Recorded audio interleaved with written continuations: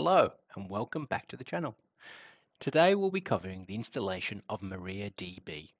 So the first question you should ask yourself is why would I bother to install MariaDB as opposed to the inbuilt SQLite DB that provides all the functionality that I need? Well, yes, you're right. You don't need MariaDB. However, if you do install MariaDB, then you will gain performance increases. In addition, MariaDB is more reliable than the internal Home Assistant SQLite database. So the added advantages of better performance and more reliability make it a should do, but not a must do. Just a note, if you're running on a Raspberry Pi with a micro SD, then this installation is not recommended as it puts an additional load onto your storage and your micro SD will wear out quicker. If you want to run MariaDB, then you should be running on an SSD. Also, as we are changing your reporting database, you will lose history. So if you're running integrations such as presence simulation, then you will need to build this sensor history back up again for it to work properly. This is a replacement for the internal Home Assistant database and not a migration. If you want to retain your Home Assistant history information, then you're recommended to stay with your pre-installed Home Assistant SQLite database, as there is no way easily to migrate your SQLite database to MariaDB. So let's dive on in. So the installation process is pretty simple, but we'll step you through the process. So as at the time of recording, I'm running on Home Assistant 2023.10 3. Now let's navigate to Settings, Add-ons, open the add-on store and search for MariaDB. Select and install. Once installed, turn on the watchdog as you'll need MariaDB to be available all the time. Now go into the configuration and set a strong password. You can leave the remainder as default. Now press save. Go back into the information and press start. MariaDB will now have started, as signified by the green dot. Go into the log files, scroll to the bottom, you should now see that it successfully started. Now we need to make an update to the configuration.yaml file. So we'll need a file editor. I'd suggest that you use Studio Code Server for this. I've created a video on how to install Studio Code Server available in the pop-up above or in the descriptions below. If you don't have this installed, then go and do it now and come back to this video. Now let's go ahead and make our changes to the configuration.yaml file. First, go into the add-on and then into the documentation. Scroll down to the bottom and copy the lines of code underneath the Home Assistant configuration. Now let's go across into Studio Code Server. Select your configuration.yaml file, scroll down to the bottom and paste your line in. Once you've pasted the code, remember to change the password before the at with a password that you set in the installation of the add-on. Now move to the Developer Tools and to the YAML in the top menu.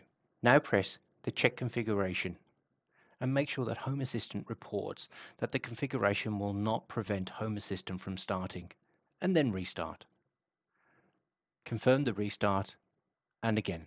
Once Home Assistant has fully started, we can check that the Maria database has installed and is working. Go to the left-hand navigation and select the history. Now this is a test environment. I'll select an entity that is connected, such as my Sonos. You can see the history only goes back a few minutes as to when the Maria database was installed and Home Assistant restarted.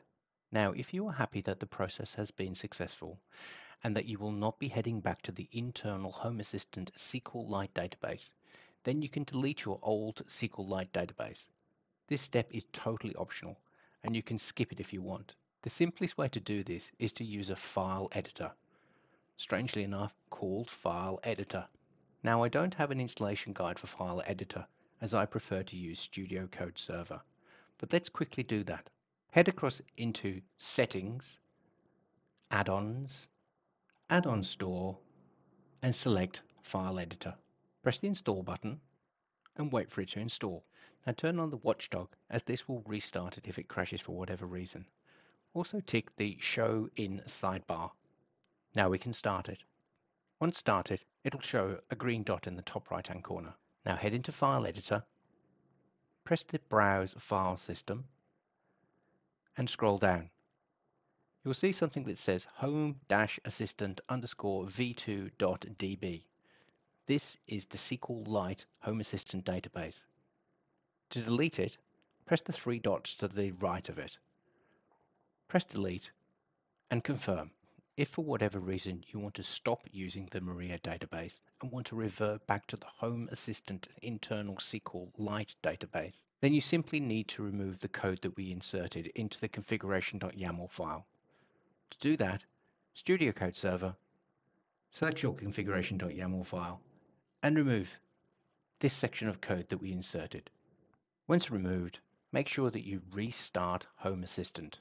Since we deleted the database, if once you've restarted, Home Assistant will recreate that file if it cannot find the database.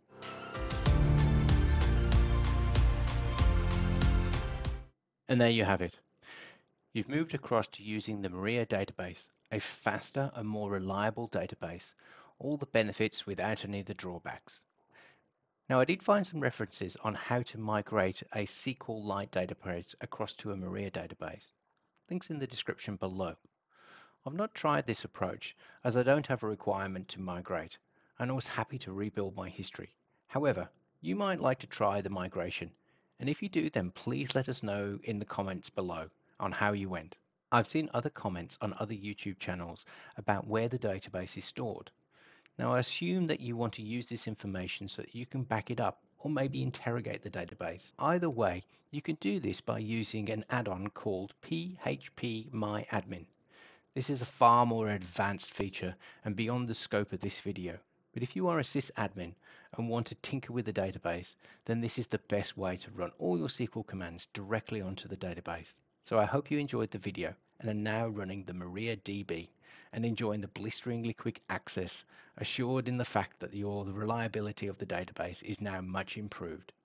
If you like this video, then please give it a thumbs up.